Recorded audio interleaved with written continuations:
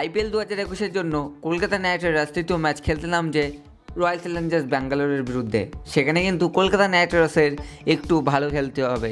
তার কারণ মুম্বাই ইন্ডিয়ান্সের বিরুদ্ধে খুব খারাপভাবেই কলকাতা নাইট রাইডার্স হেরেছে। যদিও বা পিচ একটু এদিক ওদিক ছিল, কিন্তু ভাই সেই রানটা চলার চেষ্টা অবশ্যই করেছিল। তো বস, আজকে আমরা এই ভিডিও আলোচনা করতে চলেছি। পরের ম্যাচ একই মাঠে হবে, তাই জন্যে যে তিনটি প্লেয়ার কলকাতা নাইট রাইডার্স থেকে বাদ যেতে পারে, সেই তিনটি প্লেয়ারের নাম দেখে নেব। তার আগে তুমি যদি আমাদের চ্যানেলে যদি প্রথমবার হয়ে থাকো, তো চ্যানেলটিকে এখনই সাবস্ক্রাইব করো। আমার তো মনে হচ্ছে ভাই, কলকাতা নাইট রাইডার্সের প্রথম যে প্লেয়ারটা বাদ যেতে পারে, সে হচ্ছে প্রসিদ্ধ কৃষ্ণা। প্রসিদ্ধ কৃষ্ণা ভাই, ঠিক আছে উইকেট নেয়, ঠিক আছে, কিন্তু ভাই বলে অতিরিক্ত রান দিয়ে দেয়, যেটা টি টোয়েন্টির পক্ষে খুবই খারাপ ব্যাপার।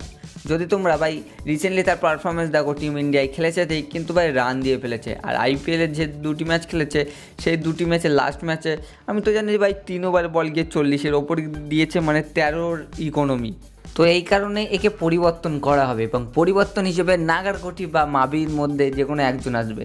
যদি বলো কেন ভাই নাগারকোটি, মাবি দুজনকেই ব্যাক করা যায়, কিন্তু দুজনকে ব্যাক করলে হবে না। তার কারণে এটা হচ্ছে স্পিনার পিচ কমপক্ষে তিনটে স্পিনার লাগবে, যেখানে তিনটে স্পিনার, তিনটে ফাস্ট বোলার চেন্নাইয়ের মতো পিচে। আর চেন্নাইয়ের মতো পিচে প্রসিদ্ধ কৃষ্ণার। মানে বলিংটা একটু উল্টো দিকে চলে যাচ্ছে না বস এই জন্য অবশ্যই প্রসিদ্ধ কৃষ্ণার পরিবর্তে আমার চোখে তো ভাই মাবিন নাগারকোটির একজনের চান্স দেওয়া উচিত। তো তোমাদের মতে কি বলে? অবশ্যই নিচে কমেন্টে জানাও। দ্বিতীয় যে পরিবর্তন হতে পারে সেটা হচ্ছে ভাই সাকিব আল হাসান। তার কারণ তোমরা ভাবছ সাকিব আল হাসানের নাম নিচ্ছে কেন, কিন্তু সব থেকে বড় ব্যাপার সাকিব আল হাসান এই পিচে চলবে না। সাকিব আল হাসানের পরিবর্তে অবশ্যই আমরা নেক্সট ম্যাচে দেখতে পাবো। তার কারণ কলকাতা নাইট রাইডার্স নেক্সট ম্যাচে একই দল নিয়েই লাভ হবে না। তার কারণ নেক্সট ম্যাচে কিন্তু কলকাতা নাইট রাইডার্স আগের ম্যাচ যেহেতু হেরে যাচ্ছে, আর কলকাতা নাইট রাইডার্স কাছে প্লেয়ারের ব্যাকআপের প্লেয়ার ব্যাকআপ ব্যাকআপের পর ব্যাকআপ তো কলকাতা নাইট রাইডার্সের অবশ্যই সাকিব আল হাসানের পরিবর্তে সুনীল নারিনকে আনতে পারে। যদি সুনীল নারিন একশো পার্সেন্ট ফিট থাকে। এটা আমার কথা না, এটা গৌতম গম্ভীরের কথা। এটা বড় বড় ক্রিকেট বিশেষজ্ঞরই কথা। যে সাকিব আল হাসানের পরিবর্তে, সাকিব আল হাসানকে যদি খেলো, নারিনকে অবশ্যই খেলাতে হবে প্রথম ব্যাপার। এটা ক্রিকেট বিশেষজ্ঞরা বলেছে। তো তোমাদের মতে কি বলে?